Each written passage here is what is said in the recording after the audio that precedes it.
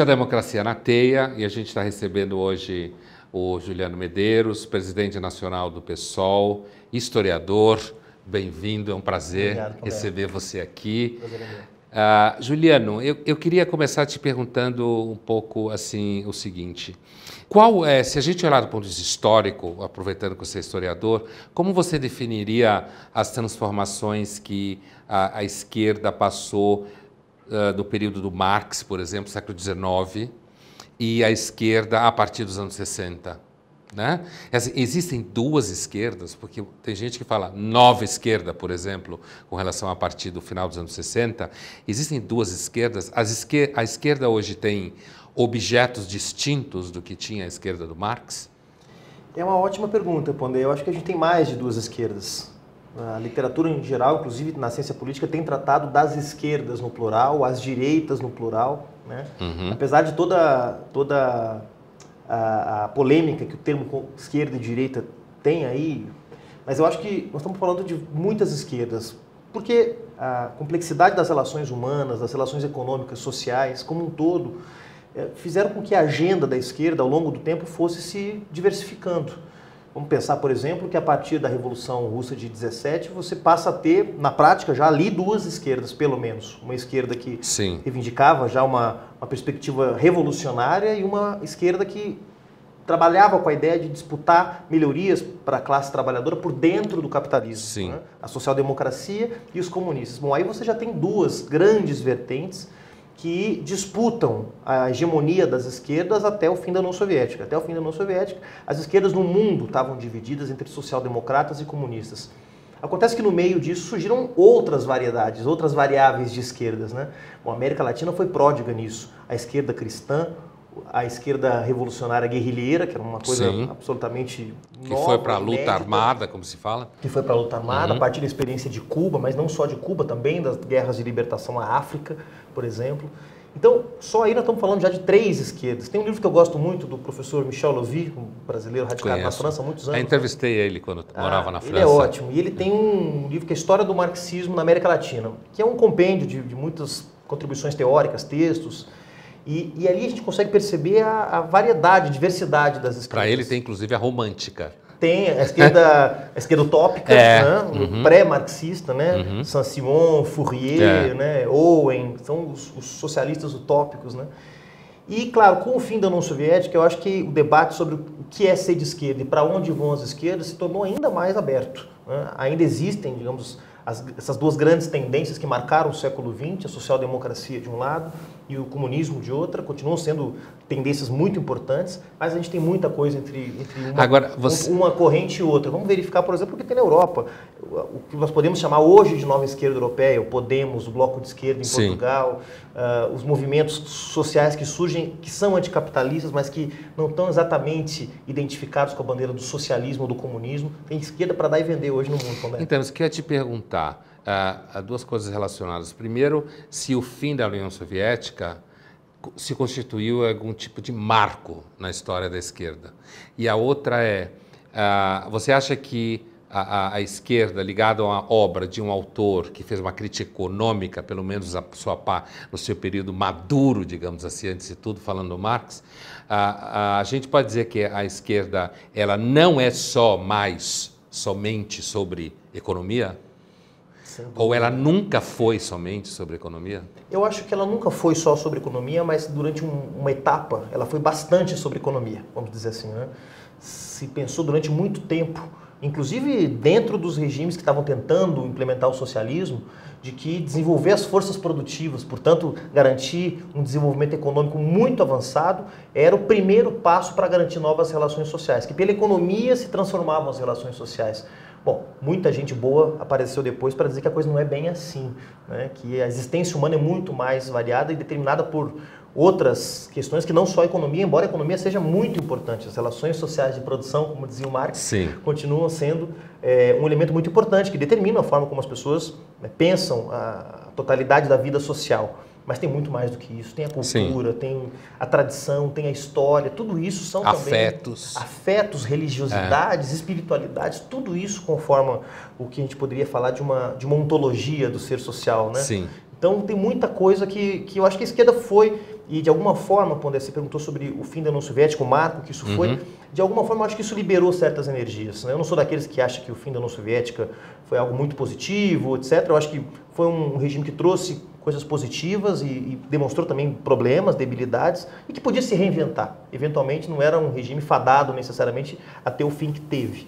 Que era um pouco o que o Gorbachev tinha na cabeça na época. E, e muitos outros Ele chamava de socialismo com face é. humana. É, e muitos né? outros reformistas, muita gente do mundo inteiro é, que reconhecia os avanços, é impossível não reconhecer avanços econômicos, científicos, sociais, culturais, os direitos das mulheres, os direitos das minorias. Né? Então, a União Soviética trouxe muitas, o socialismo soviético, a experiência soviética, trouxe muita coisa de interessante. Mas eu acho que o fim da União Soviética nos desafia, a todos nós como, como herdeiros de uma tradição política muito longeva, que já tem quase 200 anos, a pensar o que é ser de esquerda hoje, a pensar a dimensão material das transformações que a gente defende. Então, mais saúde, mais educação, mais emprego, melhores condições de vida material, com a dimensão pós-material da vida, que é acesso à cultura, acesso à, à felicidade, às liberdades individuais. Então, se a gente não conseguir pensar, por isso a gente partir do socialismo e liberdade, muita uhum. gente fala, mas como vocês falam em socialismo e liberdade? É porque para a gente não é possível pensar um socialismo que prescinda do que são os indivíduos. Então, no nosso socialismo, o indivíduo tem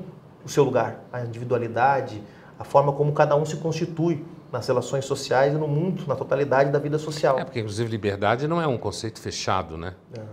É, o que eu quero dizer assim, uma coisa é eu pensar a liberdade unicamente no eixo liberal, outra coisa é eu pensar a liberdade no eixo do, das possibilidades que uma pessoa tem de comer três vezes por dia.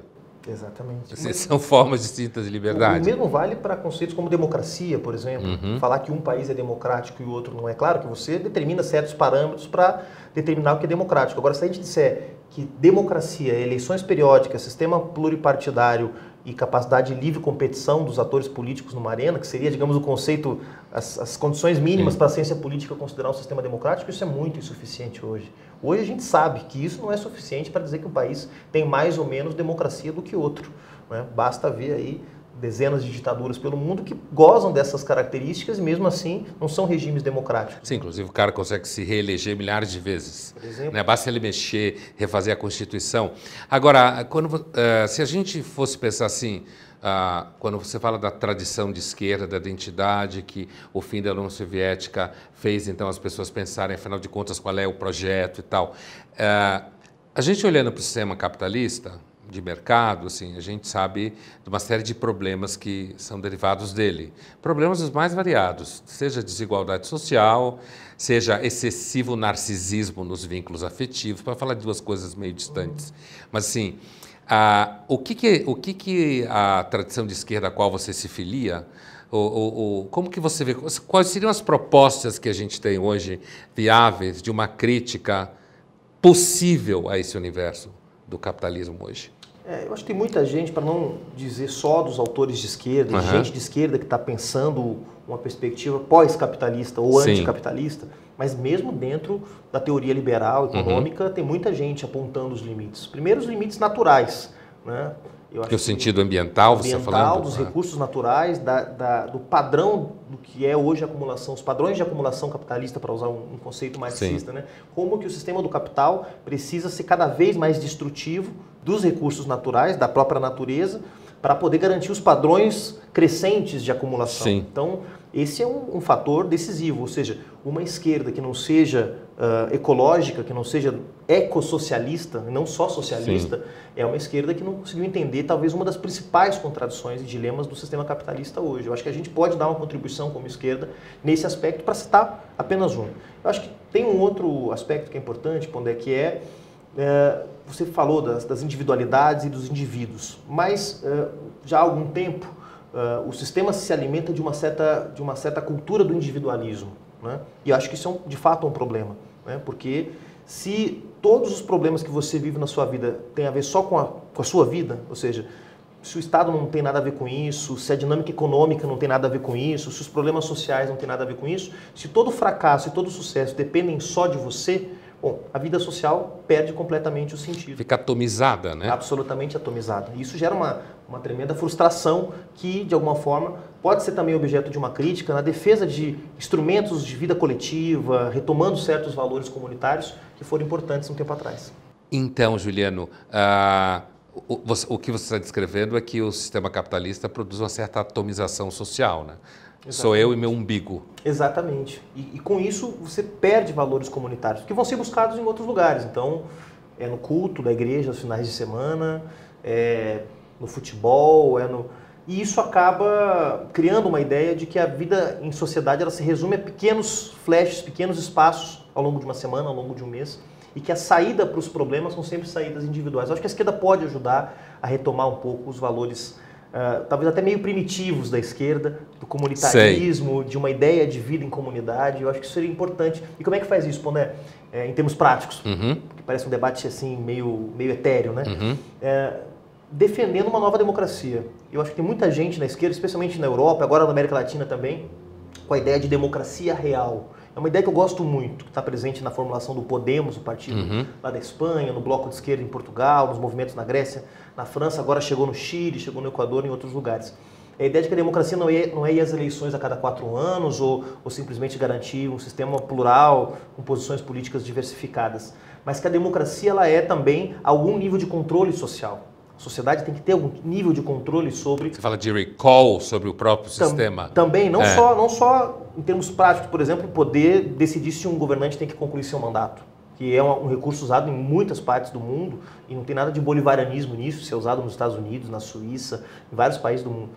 Mas de ter mecanismos de participação social, ou seja, não pode ser que a gente resuma toda toda a organização da vida eh, do Estado, por exemplo, que arrecada os impostos, define a política econômica, define as políticas sociais em apenas três níveis: o município, o governador, que ninguém que mora fora da capital pode acessar, e o presidente da República, que a imensa maioria não pode acessar. Uhum. Então, como criar mecanismos de controle social, de participação cidadã na vida pública? Eu acho que Você está falando de são questões que a gente pode retomar. Você está falando da, da geração de mecanismos mais sofisticados de representação?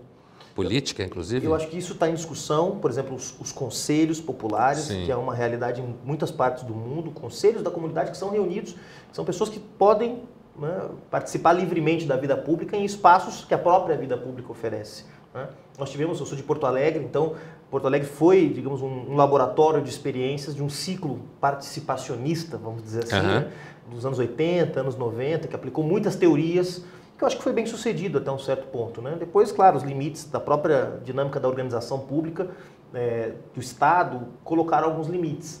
Mas assim como foi possível inventar fórmulas criativas para estimular a participação da cidadania nos negócios públicos, eu acho que esse é um desafio que a gente tem que se colocar urgentemente, porque o, o neoliberalismo, sobretudo, e algumas promessas da globalização ao não se cumprirem, geraram uma tremenda frustração. E essa frustração está sendo canalizada para revolta, está sendo canalizada para um ceticismo que acaba alimentando o populismo. Uhum. Então, se a gente consegue ter espaços públicos onde a democracia possa se realizar não só de dois em dois ou quatro em quatro anos, isso vai fazer bem para todo mundo e está muito mais próximo das nossas ideias e dos nossos valores de esquerda. E assim, Partindo daí, você estava falando das transformações hoje em dia e tal. Esse fenômeno da polarização, Juliano, como você vê isso? E não só como você vê isso, mas como você vê como a gente pode ultrapassar isso? Ou você acredita que a polarização política é um elemento positivo, porque eu conheço gente, tanto à esquerda quanto à direita, que acham que a polarização é uma ferramenta positiva para acirrar o processo social. Como que você vê isso, a polarização? Eu acho que a polarização, primeiro, ela é um fenômeno natural. Quer dizer, ela em certos momentos da história está mais acirrada em certos momentos está menos acirrada, mas ela é um elemento constituinte da política democrática, uma coisa normal. É, o que está acontecendo agora tem um pouco a ver com o que eu estava dizendo antes, quer dizer, como certas promessas uh, do desenvolvimento capitalista geraram uma frustração, isso está dando espaço para ideias, digamos, que estavam fora da caixa. Então, se antes a polarização no período anterior, nos últimos 20, 30 anos, no Brasil e no mundo, a polarização foi marcada entre forças de centro-direita e centro-esquerda, a crise que, inclusive com a participação desses atores, foi gerada, uma vez que esses atores não trabalharam para garantir espaços democráticos, não trabalharam para segurar a ferocidade do capitalismo, para garantir, pelo menos minimamente, a garantia de alguns direitos sociais, o desmonte do estado de bem-estar social na Europa, você sabe, uhum. em muitos países foi implementado pelos partidos socialistas, pela social-democracia. Centro-esquerda, né? Centro o Labour inglês, do Blair, por exemplo. Então, quando a centro-esquerda e a centro-direita começam a ser vistas pela maioria da população como parte do problema, bom, isso abre espaço para novas forças políticas. No caso europeu, e agora isso também começa a acontecer no Brasil, é, essas forças eram representadas pelas forças de extrema direita, os nacionalismos, uhum. né? na Áustria, na Hungria, na Polônia. Ainda existe. Chegou né? na França com Front National. É, ainda existe isso então, na presente, Europa. Super presente. É. é. é uma marca desse, é. desse, período histórico que se abriu a partir da crise da globalização, que eu, se fosse periodicizar, é. eu colocaria aí no ano de 2010, 2011, com a crise econômica. Né? A partir de 2011, 2010 começa a ter muito protesto no mundo inteiro e tem a ver com essa crise. Quando a centro-esquerda e a centro-direita são vistas como parte do problema, surgem novas forças. Então, eu falei das forças de extrema-direita, as forças do populismo, vamos dizer, de direita, do Sim. nacionalismo de direita, e surgem novos atores de esquerda também. Então, eu citei aqui o Podemos na Espanha, o Bloco de Esquerda em Portugal. O Siriza na Grécia era um partido que tinha 2% da preferência partidária nas eleições e, de repente, virou governo na Grécia, chegou a 27%. Eu tive nessas eleições de 2015, que o Siriza venceu. É, na América Latina começa a acontecer isso. Você vai ver no Chile, o partido hoje, as pessoas que estão nas manifestações, o partido preferido dessas pessoas não é o Partido Socialista da Bachelet, que é o principal partido de oposição. O principal partido na preferência dessas pessoas é o Frente Amplio, que é um novíssimo partido de esquerda que surgiu agora há 3, 4 anos, como fruto do levante estudantil de 2011. Então nós estamos Sim, falando também que quando, quando o centro, vamos dizer assim, ele começa a entrar em crise, a polarização se acirra. Então eu acho que menos dizer se é, se é bom ou se é ruim, eu diria que é um fenômeno natural desse período histórico. É do tá processo de dissolução do que estava no centro representando. Exatamente. Você tem uma, um esvaziamento desse centro representante Exatamente. e aí há uma tendência das pessoas procurarem posições que estão mais distantes disso. Eu acho que um principal exemplo, para não usar o exemplo do Bolsonaro, que eu acho que é gritante, porque é um sujeito que não tinha nenhuma, nenhuma visibilidade. Eu trabalhei na Câmara dos Deputados quase uma década. O Bolsonaro era um deputado que, quando entrava no plenário, era tido como ridículo, como um bufão, não era um cara sério, entende? Então. Brasil, mas ele está como presidente, está acontecendo a mesma coisa. É, né? O Brasil é um exemplo disso. Então, mas vamos pegar os Estados Unidos, quer dizer, dentro de uma instituição centenária que é o Partido Republicano, o Donald Trump, que é um cara que não é antissistema, muito pelo contrário, ele é um grande empresário, tem um império é, bilionário nos Estados Unidos, mas o Trump ele consegue, dentro do Partido Republicano, derrotar nas primárias do Partido Republicano todos os nomes tradicionais do partido. Por quê? Porque esses nomes estavam muito associados aos problemas, Sim. ainda que o Partido Republicano não governasse os Estados Unidos desde o Bush, mas estava muito identificado com os problemas que o país vivia. Então ele apareceu como um outsider. Né? E esses outsiders representam um pouco também essa negação, essa rejeição das pessoas ao que é visto como política tradicional. Vamos ver o resultado das eleições dos principais partidos da centro-direita no Brasil nas últimas eleições, MDB, PSDB, tiveram resultados catastróficos. Uhum. O PT, que é um partido já tradicional da política brasileira, teve até um desempenho positivo, porque participou da polarização, foi um dos, dos elementos da polarização, acabou tendo até um bom resultado eleitoral, o partido que mais elegeu governadores, que elegeu um, uma bancada grande de deputados, mas porque entrou na polarização. Ou seja, quem ficou nessa posição do centro, identificada, portanto, pela maioria social, como parte dos problemas, ou responsável pelos problemas, viu o resultado nas urnas. Agora, seria interessante você para também a gente escapar de um, tentar escapar de uma relação de espelho. Uh, você acha que dá para fazer? Eu acho que não dá, mas eu quero ouvir a sua opinião. Você acha que dá para fazer uma relação de espelho entre o que seria extrema direita e extrema esquerda? Não são a mesma coisa. E aqui eu não estou dizendo só porque, obviamente, são duas posições diferentes. Claro, claro. Falando, se você pensa ah, no que pode ser compreendido com a posição de extrema esquerda, no sentido do que está acontecendo no Chile, por exemplo. Ou se você pensa no que pode ser um movimento de extrema direita, se você pensar nos partidos de extrema direita da Áustria. Uhum, né? Uhum. Você acha que tem uma relação de. Não, veja. Eu... São opostos simplesmente? Não, não, definitivamente então... não. Eu acho que a extrema direita, Pondé, ela está sempre. Ela, ela traz consigo a promessa de um retorno a um passado. Ela é uhum. conservadora, portanto, desse ponto de vista, mas ela quer sempre voltar, voltar às tradições antigas, voltar ao tempo em que a vida era menos complexa, voltar ao tempo Sim. em que o, o, o pater familias era respeitado pela sociedade, hoje não é mais, porque os valores estão se perdendo. Ela sempre traz consigo uma promessa que mira o passado. E, e, portanto, ela é conservadora, portanto, ela, ela, não se adapta às mudanças, ela nega as mudanças, ela nega a dinâmica da evolução da vida social. A extrema-esquerda não. A extrema-esquerda está sempre olhando para frente. Né? Ela tem uma, uma, promessa, uma proposta de transformação radical, é radical, né? na etimologia da palavra, vai à raiz dos problemas, mas ela está olhando para frente, ela quer uma transformação do capitalismo num outro outra forma de organização da vida social, ela desconfia do Estado com razão, ela desconfia das instituições democráticas porque são imperfeitas mesmo.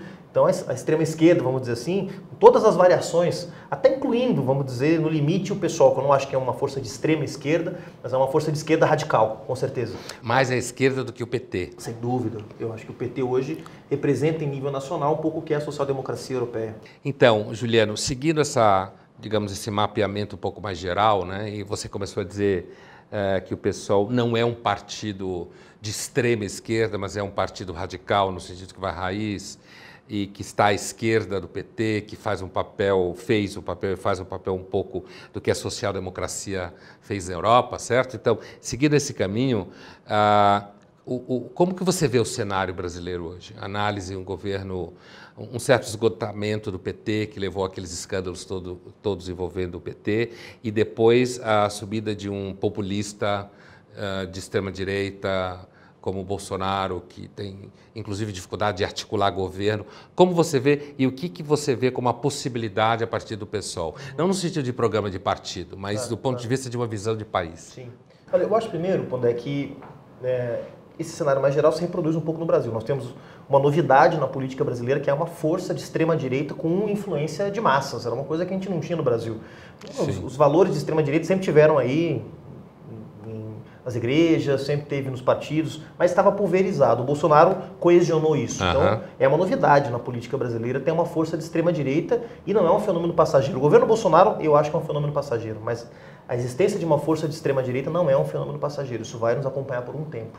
Bom, você tem as forças de centro-direita, as forças tradicionais, que representam as, as, diferentes frações das classes dominantes, para usar uhum. um conceito é, marxista. Você tem uma centro-esquerda, que eu acho que continua tendo ainda um, um peso, um peso razoável, especialmente no Nordeste, todo mundo sabe disso mas não é uma coisa desprezível a, presença do PT na vida brasileira, está presente nos sindicatos, está presente na vida social. Partido orgânico. É um partido né? orgânico, exatamente. E você tem agora, eu acho que a esquerda do PT começa a ter muita coisa aparecendo. Você tem partidos à esquerda do PT, o pessoal é um exemplo desses, é, mas há também na sociedade surgindo muita coisa, movimentos feministas, movimentos é, antirracistas, movimento LGBT, novas formas de organizar o mundo do trabalho, já não aquele velho sindicalismo que começa a dar sinais de fadiga, que foi reorganizado a partir dos anos 80, na, com base no sindicalismo combativo, mas que depois foi se adaptando, foi se, se amoldando, vamos dizer assim, a, ao sistema. Então, eu acho que... Virando pelego. É. Em alguns, foram em alguns pelego, casos, é, sim, sim. Meio, e alguns estão resistindo. Né? É, então, eu acho que tem um, um fenômeno no Brasil que é esse. Assim, você tem, na verdade, quatro grandes campos que na hora H, na hora que polariza, viram dois campos, é óbvio. Uhum. É óbvio que quando é, o filho do presidente, como aconteceu é, recentemente, diz que o Brasil precisa de um novo AI-5, bom, eu estou junto com o PT, eu estou junto com o PDT, eu estou junto com a Rede, com o PSB, até com o PSDB, se for o caso, para defender a democracia.